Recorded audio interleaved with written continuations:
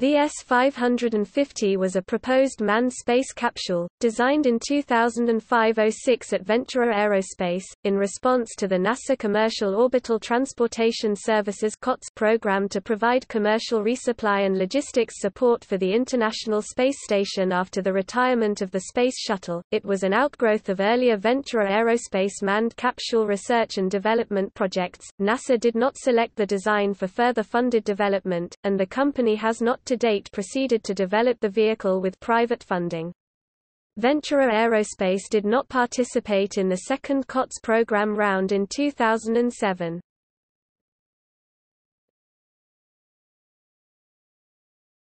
Topic description The S-550 capsule was intended to carry up to six people normally two or three and significant internal and external cargo on resupply missions to the International Space Station ISS. Unlike the other COTS competitors, the S-550 capsule was explicitly a human-operated vehicle. While it had automated flight functions, it was intended to be flown with crews for any space station mission, using manned control for all rendezvous and dockings with ISS.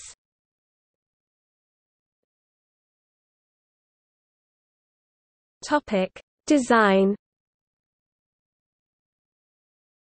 The overall vehicle was design was for a 3.0 meters 10 feet diameter ballistic capsule, weighing 7,500 kilograms 16,500 pounds including payloads. The capsule was projected to weigh 3,059 kilograms 6,744 pounds wet with two crew and consumables, but not cargo. The service module 1755 kilograms, 3869 pounds wet including rocket propellants, and 2,300 kilograms 5,100 pounds of internal cargo or passengers within the capsule. Additional mass in external unpressurized cargo could be obtained with increased launch vehicle capacity beyond 7,500 kg or by trading off internal cargo for external cargo.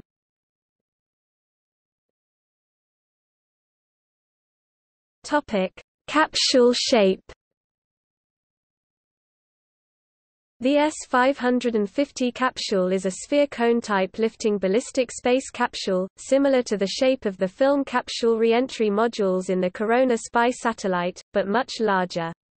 The general shape was also used by COTS competitor t/Space's CXV capsule. The capsule design shape had a spherical nose section diameter of 0.8 of the base diameter and 10 degree conical half angle see atmospheric reentry.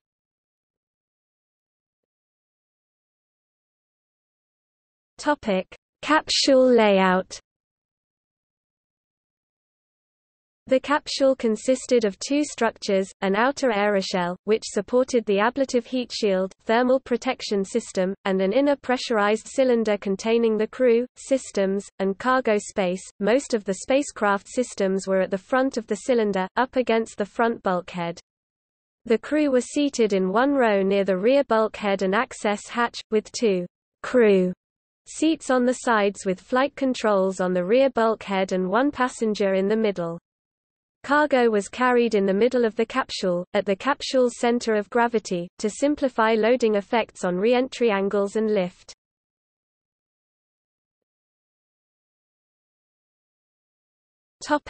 Descent and landing.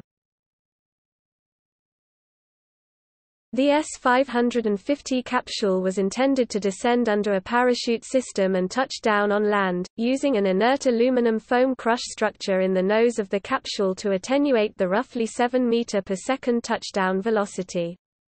The landing did not require any active controls or systems to operate safely. Emergency landings in the water were handled by capsule flotation systems.